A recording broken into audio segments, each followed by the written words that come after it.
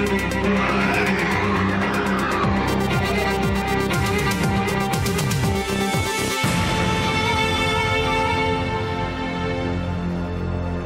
بكم مشاهدينا إلى هذه الساعة الإخبارية من قناة العربية ونبدأها بأبرز العناوين.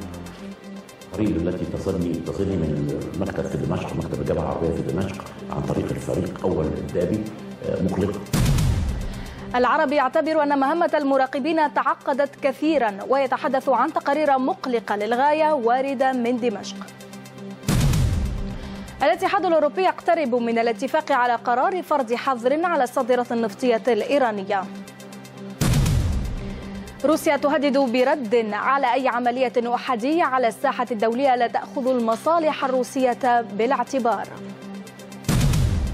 دراسة جديدة تتخوف من أمن المواد النووية في عدد من الدول التي لا تتوفر فيها معايير السلامة.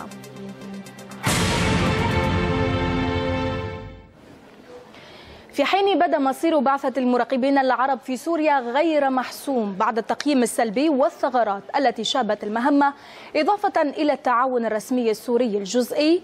رفض أمين عام جامعة الدول العربية انتقادات الأسد للجامعة مرجحا في حديث لقناة الحياة المصرية أن تؤتي العقوبات الاقتصادية والضغوط ثمارها على النظام السوري. الآن وقفة مع الأخبار الرياضية مع خليل. تفضل خليل. أهلا حنان مساء الخير. مساء النور.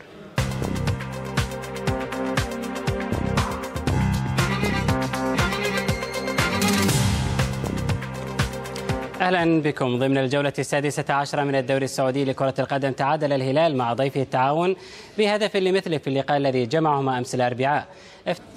أخبار الرياضه انتهت ونعود الآن إلى حنان. شكرا لك خليل.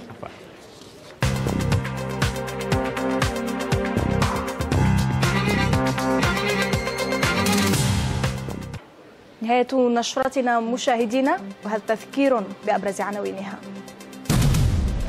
العربي يعتبر أن مهمة المراقبين تعقدت كثيرا ويتحدث عن تقارير مقلقة للغاية واردة من دمشق.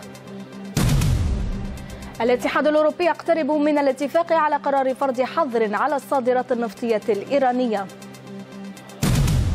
روسيا تهدد برد على أي عملية أحادية على الساحة الدولية لا تأخذ المصالح الروسية بالاعتبار.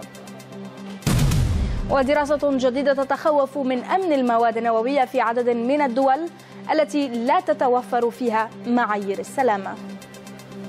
شكرا لمتابعتكم. ألقاكم على رأس الساعة في موجز أهم الأنباء إلى اللقاء.